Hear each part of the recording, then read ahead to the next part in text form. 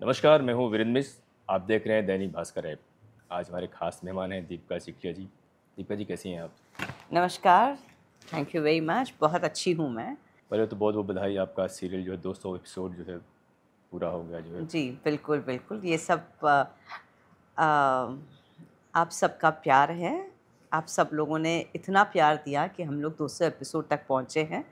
So thank you very much आप producer पहली बार बनी और पहली बार ही जो आपका सीरियल 200 एपिसोड जो है पूरा हो गया। इसका श्रेय किसको देना चाहेंगी आप?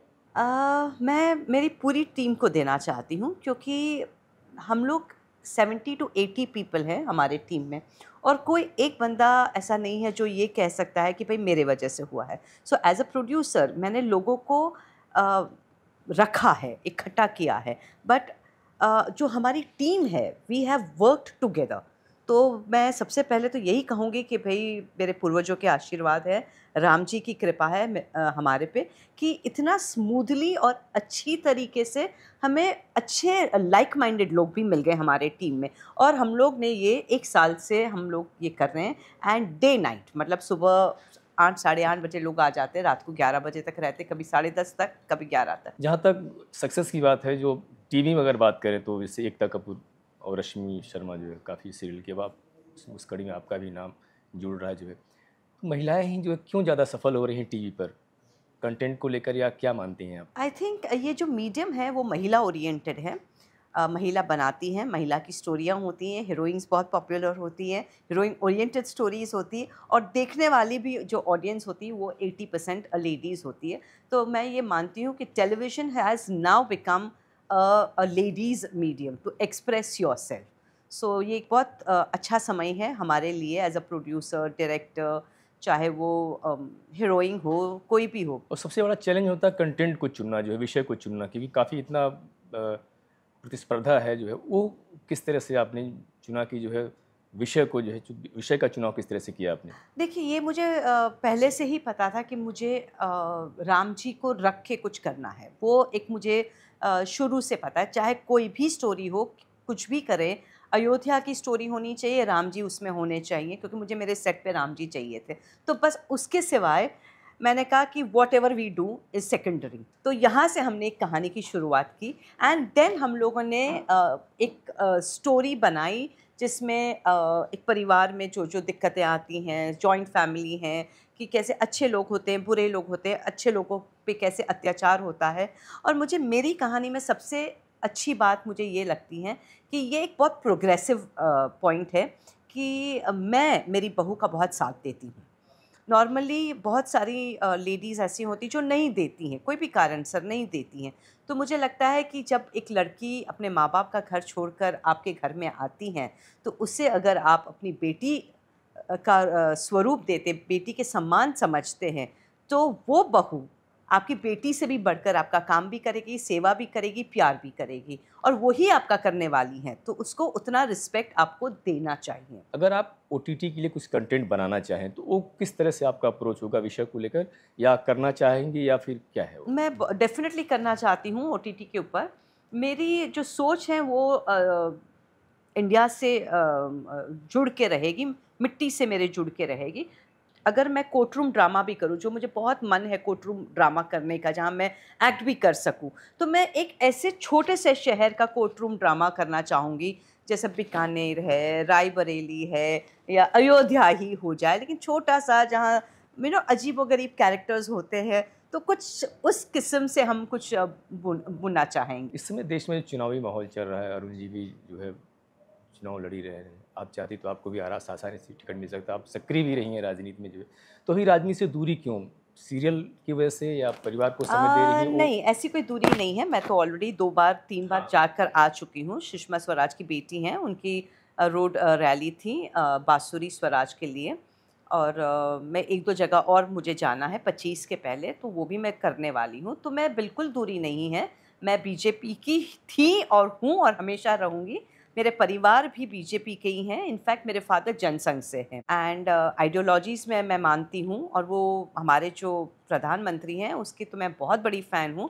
आज हिंदुस्तान में जो विकास हो रहा है जो प्रोग्रेस हो रहा है जो छोटी छोटी बातें मतलब उन्होंने बाहर रखी हैं, वो इतने अच्छे से मतलब बखूबी हमारे देश में अमल हो रही है। चाहे वो यू नो क्रेडिट कार्ड की का विषय रहा है, जो लोग ऐसे बोलते थे क्रेडिट कार्ड कैसे हो जा? मतलब how can you make India cashless उन्होंने कर डाला। राम मंदिर नहीं बन सकता, हो, नहीं हो सकता, उन्होंने कर दिया।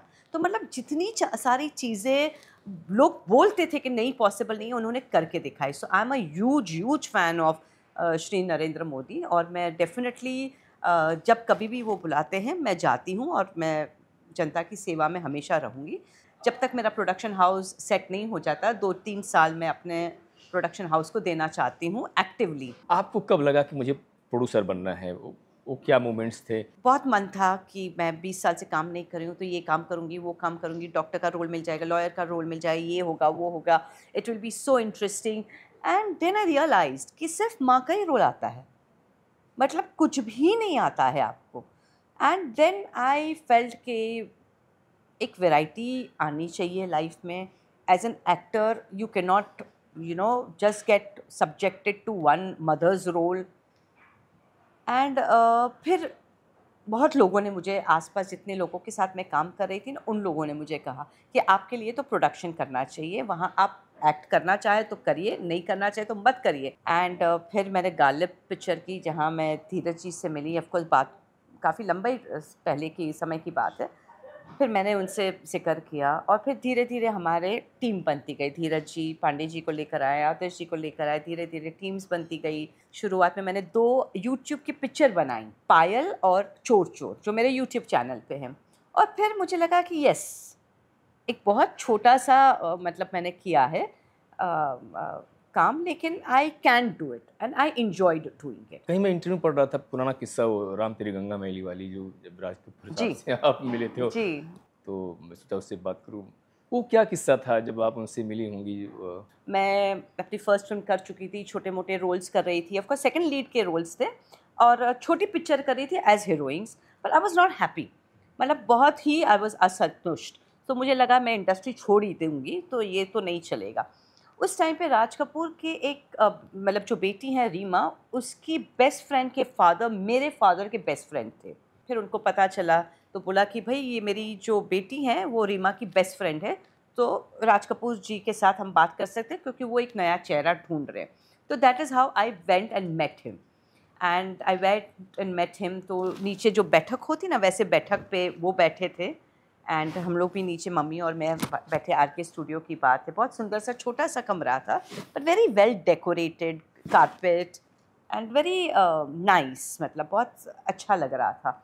एंड आए बहुत अच्छे से बातचीत की and lot of incense on his face Raji के फेस पे। एंड uh, क्या उम्र है? तो मैंने कहा सेवनटीन अरे बहुत छोटी हो तो मैंने कहा जी। एंड uh, ज़्यादा पूछा नहीं उन्होंने। एंड uh, फिर बोला बताते हैं मिलेंगे हम लोग। मैंने कहा ठीक है। फिर मैं घर आ गई। फिर दो दिन के बाद न्यूज़ आए कि नहीं not selected so I was very upset मैंने कहा इतना बड़ा चांस मिल रहा था and it didn't work out and I was very lucky कि राजश्री प्रोडक्शन में एंट्री हुई। एंड सेकेंड अगर मुझे राज कपूर की यार के प्रोडक्शन मिला तो बहुत अच्छी बात है। So I was not sure कि how to go about but ना बोल दिया। So we both were very rejected my mom and me फिर मम्मी बोल रही थी कि जो होता है ना अच्छे के लिए होता है कुछ अच्छा ही निकलेगा। शायद इससे बेटर तुमको मिलने वाला है। ऐसा क्या मिलेगा इससे बेटर राज कपूर से बेटर क्या हो सकता है? सो ऐसे ठीक है you are a mother so you know ये सब बोलते रहते हो. एंड uh, समय निकल गया दूसरे काम्स करने लगी थी मैं। फिर uh, धीरे धीरे वापस राजश्री का ऑफ़र आया to for me to do a television serial तो मैंने उनके साथ पेइंग गेस्ट किया राजटी के साथ Sooraj Barjatya had directed it क्योंकि इंडस्ट्री से मैं नहीं थी तो I did not know anybody तो जिनके फ़ोन आते थे उनका मतलब मैं देख लेती थी बाकी I have not really done much work and फिर सीधा दो तीन साल के अंदर तो सीरियल्स शुरू हो गई थी मेरी रामायण हो गई. एंड उसके बाद मेरे मुझे बहुत काम मिला. Uh, राजेश खन्ना जी के साथ भी तीन पिक्चरें की. मतलब डेफिनेटली एक होप uh, था कि और मैं कर सकती थी. But then my mother was very keen कि भाई शादी कर लो। माई फादर फिर उस टाइम पे अडवानी जी का फ़ोन आया कि we want to meet you and this is very interesting मैं आपको बताती हूँ। द फ़र्स्ट टाइम हम अडवानी जी को मिले, मैं अहमदाबाद गई थी मिलने के लिए तो उन्होंने मुझे ये पूछा कि आपकी डबिंग कौन करता है? मैंने कहा कि हम लोग में डबिंग नहीं होती है नॉर्मली होता है, फ़िल्मों में डबिंग होती है। And as actors we all dub our own voices film में। बट आई सेड इसमें तो मैंने खुद आवाज़ ही है डबिंग भी नहीं हुई है। तो ही सेड कि आपकी आवाज़ बहुत इम्प्रेसिव है। एंड आप जब माइक में बोलेंगे ना स्टेज पे तो बहुत मतलब एक ऑथोरिटेटिव लिया बात कर सकते हैं। Because your voice is got a lot of depth in it so मैंने कहा अच्छा आई तो डिंट नो बट आई से थैंक यू एंड फिर उन्होंने बात की कि we want you to join the party बस उतनी ही बात थी। मैंने कहा हाँ ज्वाइन करने में कौन सी बड़ी बात है? ऐसे I join the party because as it is मेरे father was from Jansangh and my father was very pro BJP तो मैंने कहा, ठीक है. एंड देन दे फेल्ट कि भाई, हम इच्छा रखते हैं कि आप ये भी करिए। अब हम रामायण की बात करें, जो रामायण में आप लोगों ने काम किया, जो बन गया, जो है, आज भी उसका तोड़ कोई नहीं कर पा रहा। मतलब बहुत सारे लोग कितने रामायण बन गए, याद ही नहीं रहते हैं। अभी फ़िल्में भी बन रही हैं नीतीश तिवारी बना रहे वजह क्या मानती हैं? क्यों हम वहाँ तक मतलब उसे करीब तक भी नहीं पहुँच पाए? तुलना की तो बात नहीं पहुँच पाएँगे आप। मैं अभी ये कॉन्फिडेंटली बोलने लगी हूँ। पहले तो मुझे लगता था हो जाएगा कैसे भी ये वो लेकिन अब धीरे धीरे एक समझ मुझे आने लगी है आप नहीं कर पाएँगे क्योंकि जो रामानंद सागर ने किया है वो और अरुण गोविल और मैं दारा सिंह जी अरविंद त्रिवेदी हम लोगों ने जो किया है ना मतलब I think this was we were meant to do this कहीं ना कहीं मुझे लगता है कि मेरा जन्म इसी के लिए हुआ था। एंड रामानंद सागर जी ने जब अपनी किताब लिखी, उन्होंने तो राज कपूर के साथ काम किया, लेकिन जब किताब उन्होंने लिखी, उन्होंने अपनी पूरा श्रेय, अपनी ग्रैटिट्यूड ये दिखाया कि भाई I was born to do Ramayan तो मतलब उनके लिए भी बहुत बड़ी बात है।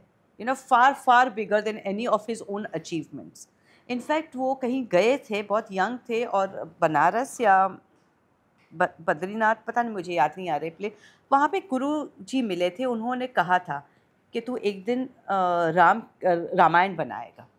मतलब ये बहुत, जब वो यंग थे thirty thirty thirty five forty के थे तो उनके दिमाग में ये हमेशा था कि मुझे रामायण बनाना है। तो ये एक डेस्टिनी होती है। तो मुझे लगता है we were destined to play this.